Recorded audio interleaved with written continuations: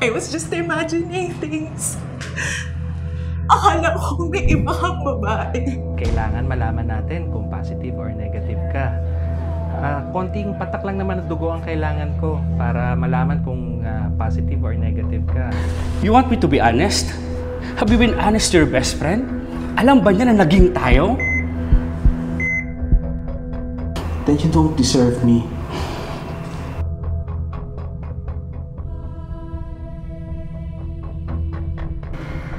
Karma, he deserved it.